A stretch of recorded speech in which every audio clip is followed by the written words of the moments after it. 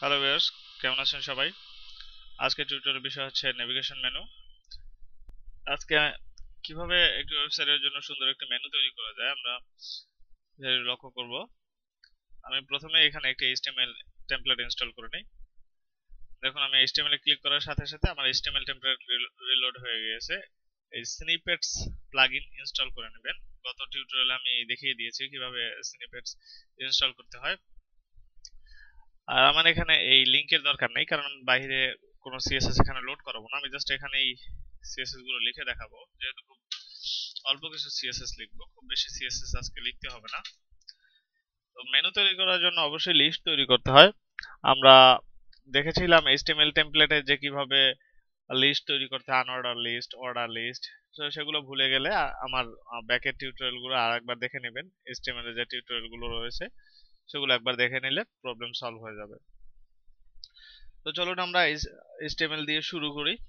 বডির মধ্যে প্রথমেই লিখে নিন ইউএল ইউএল এর মধ্যে এলআই থাকবে এবং এলআই এর মধ্যে এ থাকবে। তো এখানে আমি এলআই এর মধ্যে এতে লিখে দেই হোম এরপরে নিচে সার্ভিস এরপর লিখে দিই কন্টাক্ট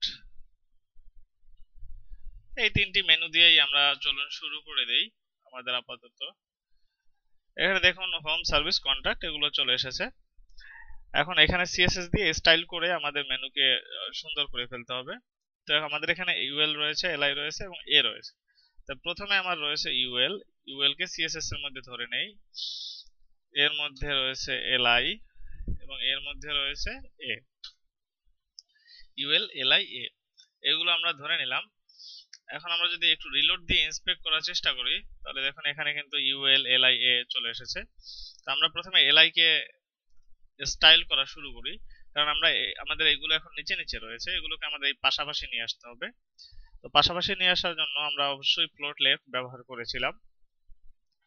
তো এখন খেয়াল করুন, আমাদের এই পিছনের যে বলগুলো রয়েছে এটাকে সরিয়ে দিতে হবে। এটাকে সরিয়ে দেওয়ার জন্য লিস্ট স্টাইল নান করে দিতে হবে। আমি লিস্ট স্টাইল নান করে দেই। দেখুন, পিছনের বলগুলো চলে গেল। এবার পাশাপাশি আনার জন্য ফ্লট লেফট এখন আমার মেনু পাশাপাশি চলে এসেছে। এখানে আরেকটি ব্যাপার বলে রাখতে হবে যে, আমি কেন ইউএল এলআইতেই ফ্লট লেফট দিলাম? এই প্রশ্ন আমাকে অনেকেই করেন। যে ভাইয়া, আপনি এখানে ইউএল এলআই এর মধ্যে কেন দিলেন? এই যে এলআই এ রয়েছে, এতেও তো দিতে পারতাম। দেখুন, আমার এখানে অনেকগুলো এলআই পাশাপাশি রয়েছে, কিন্তু এলআই এর মধ্যে কিন্তু আমার চার পাঁচটা এ কিন্তু পাশাপাশি নেই। একটু ভালো করে যদি খেয়াল করার চেষ্টা করুন যে, আমার এই এলআই এর মধ্যে চার পাঁচটা এ পাশাপাশি নেই। এখানে মাত্র একটি এ রয়েছে, তাই একটি একে ফ্লোট লিপ দিলে তো কাজ হবে না। এখানে এলআই তে দিলে সাথে সাথে এই সবগুলো এলআই পাশাপাশি চলে যাচ্ছে। আশা করি বুঝতে পেরেছেন। আমরা পাশাপাশি নিতে পারলাম। এখন আমরা এলআই এ কে প্যাডিং ট্যাডিং দিয়ে একটু বড় সড়ো করে নেব। তো আগে একটু বর্ডার দিয়ে নেই। বর্ডার দিলে আমাদের বুঝতে সুবিধা হবে। ওয়ান পিক্সেল সলিড আমি রেড কালার দিয়ে দিই। ওয়ান পিক্সেল সলিড রেড তো আমার এখানে আমি বর্ডার দেওয়ার কারণে আমার এই যে মেনুগুলো দ্যাট মিনস এই এ গুলো, দেখুন এই এ গুলো ভিজিবল হচ্ছে এখন আমি চাচ্ছি যে এই এর মধ্যে কিছুটা প্যাডিং দিতে। প্যাডিং দশ পিক্সেল আমি এখানে প্যাডিং দশ পিক্সেল দেওয়ার কারণে, দেখুন প্যাডিং দশ পিক্সেল পেয়েছে। এখন উপরে নিচে একটু দশ পিক্সেল বেশি মনে হচ্ছে, তাই আমি উপরে নিচে একটু কমিয়ে দেবো দশ পিক্সেল থেকে। ধরুন, এখানে একটু মনোযোগ দিয়ে বোঝার চেষ্টা করুন যে এই ডান পাশে যেটা, এটা হচ্ছে যে পাশাপাশি প্যাডিং এটা কমাচ্ছি দেখুন পাশাপাশি কমে যাচ্ছে। আর যেটা আমার বাম পাশের প্যাডিং এটা হচ্ছে উপরে নিচে। আমি এটাকে বাড়ালে কমালে আমার উপরে নিচে বাড়বে কমবে। আমার সেভেন পিক্সেলে বোধহয় দেখতে ভালো লাগছে। সেভেন পিক্সেল হ্যাঁ সেভেন পিক্সেল ভালো লাগছে। এখন দেখুন, এর নিচে একটি কিন্তু বর্ডার রয়ে গেছে। এটাকে বলে text decoration text decoration none করে দেই। টেক্সট ডেকোরেশন আমরা নান করে দিলাম। এই মুহূর্তে আমাদের মেনু কিন্তু মোটামুটি সিচুয়েশনে চলে এসেছে। এই সামান্য কিছু কোডের কারণে আমাদের মেনু একটি ডিজাইনের মধ্যে, মোটামুটি একটি ডিজাইনের মধ্যে চলে এসেছে। তো এখানে আমরা আরও কিছু ডিজাইন ব্যবহার করব। এবার আমরা এই ইউএল কে একটা ব্যাকগ্রাউন্ড কালার দিয়ে দিই। ব্যাকগ্রাউন্ড ধরুন আমরা হ্যাশ দিয়ে ট্রিপল ই দিয়ে দেখি কেমন লাগে। ব্যাকগ্রাউন্ডটা না আসার কারণ হচ্ছে আমার এই যে দেখুন ইউএল এ আসলে কোনো হাইট বা ওয়াইট পাইনি, যে কারণে এটা আমি যদি এখানে একটা হাইট দিয়ে দিই হাইট বিশ পিক্সেল অথবা আরও একটু বাড়িয়ে দিই, এই দেখুন হাইট পেয়েছে। এই কারণে এই এই ট্রিপলির যে গ্রে কালার এটা শো করছে। আমি এখানে কালো কালার দিয়ে দেবো। এবং আরেকটি ব্যাপার হচ্ছে যে আমাদের এখানে কালো কালার দিয়ে দিলাম এবং হাইট দিয়ে দিলাম। আচ্ছা ওভার ফলো হিডেন দিতে হবে। ফ্লোট লিভ দিলে সবসময় ওভার ফলো হিডেন ব্যবহার করতে হয়। ওভার ফলো হিডেন ব্যবহার না করলে আসলে আমার ডিপটা ভিজিবল হয় না। দ্যাট মিন্স হচ্ছে হাইট কাজ করে না অনেক সময়।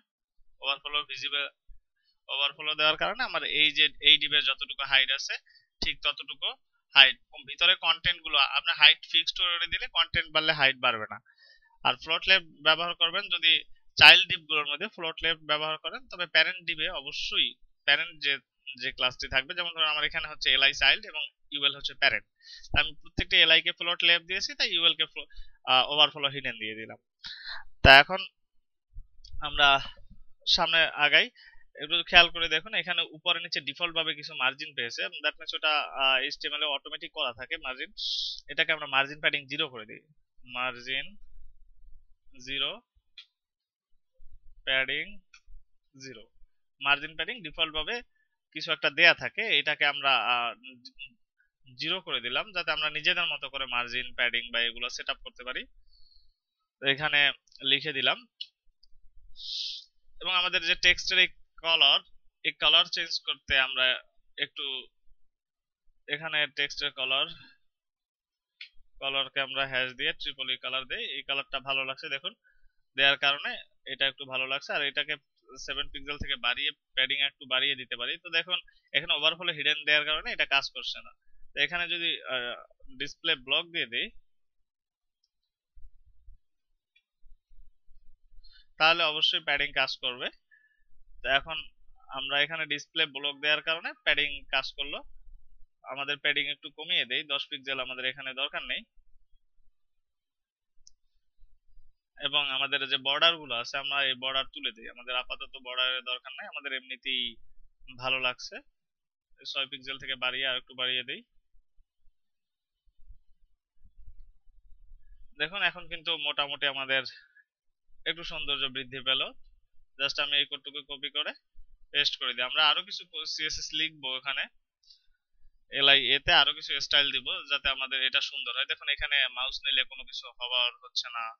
এগুলো দেখতে ভালো লাগছে না। তো আমরা এখানে ফন্ট ওয়েট ফন্ট সাইজগুলো একটু বাড়িয়ে নেই। ফন্ট সাইজ বিশ পিক্সেল করে দেখি ভালো লাগে কিনা। আঠারো পিক্সেলই ভালো ফন্ট ওয়েট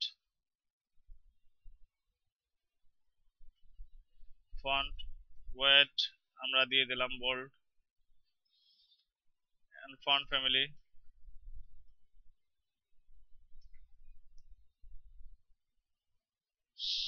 আমরা এই মনো স্পেস ব্যবহার করলাম, একটু ভালো লাগছে এখন দেখতে। তা আমি পুরো কোডটুকু কপি করে আবার পেস্ট করে দিই আমার সিএসএস এর মধ্যে।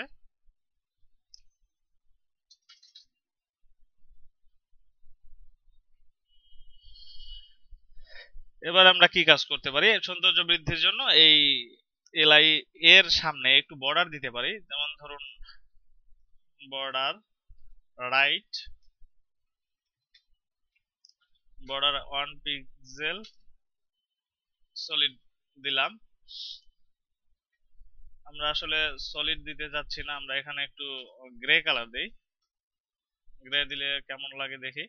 আমি গ্রে গ্রের থেকে আরেকটু হালকা দিলে এটা ভালো লাগবে। দেখতে যে মনে হবে যেন ভিতরে আসলে ভেসে আছে এরকমের। তো আমরা এই গ্রে কালারকে এখানে দিয়ে দেব। Border right, grey. এখন আর একটু প্রবলেম হয়ে গিয়েছে। যদি একটু ভালো করে বোঝার চেষ্টা করুন, যে এখানে কিন্তু শেষ যে লাইনটি রয়েছে, এখানে যদি এই বর্ডারটা থাকে, এটা কিন্তু আসলে দেখতে ভালো লাগছে না। তো এইটাকে এখান থেকে সরানোর কি উপায় হতে পারে? তো এটাকে যদি এখান থেকে সরাতে হয়, দেখুন এইটা কোথায় আছে? ফার্স্ট সেকেন্ড থার্ড একদম শেষ এলাইতে, এই যে শেষ এলাই, এই শেষ এলাইকে ধরতে হলে, ধরতে হবে ইউএল এলাই লাস্ট চাইল্ড দেখুন, আমি দেখিয়ে দিচ্ছি। ইউএল তার মধ্যে এলাই এবং এভাবে লিখতে হবে LI S L A S T last H I L D child আমি এখানে জাস্ট লাস্ট চাইল্ড লিখে ওই শেষ এলাইকে ধরতে চাচ্ছি। দেখুন, আমি যদি শেষ এলাইতে যাই, এই যে শেষ এলাইয়ের উপরে যাই, তবে দেখুন UL LI last child that means আমি কোনো যদি স্টাইল এখানে দিতে চাই, তাহলে এটার মধ্যে কিন্তু লিখে দিলেই হলো। যে আমি যদি ব্যাকগ্রাউন্ড ব্যাকগ্রাউন্ড কালার রেড করে দিতে চাই, দেখুন, এটা কিন্তু রেড হয়ে গিয়েছে। তো এটা কিন্তু শুধুমাত্র এই ক্লাসটি পেল। তাই না? তো এর মধ্যে যে এ আছে দ্যাট মিনস এই লাস্ট চাইল্ডের মধ্যে যে এ আছে, সেই এ কে আমরা জাস্ট এই বর্ডার নান করে দিব, যে border right none border right এখানে শুধুমাত্র নান করে দেব। জাস্ট তাহলে আমাদের এখান থেকে বর্ডারটা উঠে যাবে। দেখুন, এখন কিন্তু বর্ডার আর নেই, এখানে বর্ডার আর দেখা যাচ্ছে না। তো এরপরে আমরা যা করব সেটা হচ্ছে হভার ইফেক্ট দিব। এখানে যেন মাউস নিলে কিছু কালার অথবা কিছু অন্য কিছু দেখা যায়। এটি কীভাবে করা যায়? তো এখানে এই যে ইউএল এলআই এটাকে জাস্ট কপি করে নিয়ে এসে এতে হবার দিব। হবার দিলে ধরুন আমি এখানে ব্যাকগ্রাউন্ডে শুধুমাত্র একটা কালার দিয়ে দিই ব্যাকগ্রাউন্ড গ্রে কালারের একটা ব্যাকগ্রাউন্ড আসবে। যখন আমরা মাউসটা এখানে নেব, যে দেখুন এখন মাউস নিলে সাথে সাথে গ্রে কালারের একটা ব্যাকগ্রাউন্ড চলে আসছে। এটা কিন্তু দেখতে ভালো লাগছে। এবং আরেকটা কাজ করতে পারি আমরা, যে এটা কমা দিয়ে একটা অ্যাক্টিভ নামে ক্লাস নিতে পারি। অ্যাক্টিভ তো এই অ্যাক্টিভ ক্লাসটাকে আমরা এখানে লিখে দিতে পারি যে class equal to active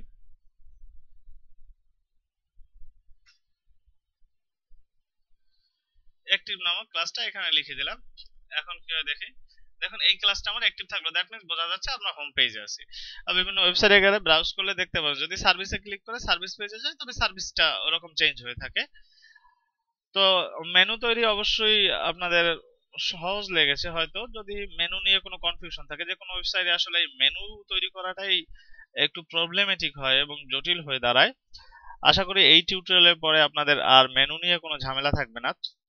এরপরে আমি দেখাবো কীভাবে হবার কলে নিচে ড্রপ ডাউন মেনু ক্রিয়েট করবেন। আর সেই টিউটোরিয়াল আমি নেক্সট দেখিয়ে দেব। ধন্যবাদ সবাইকে।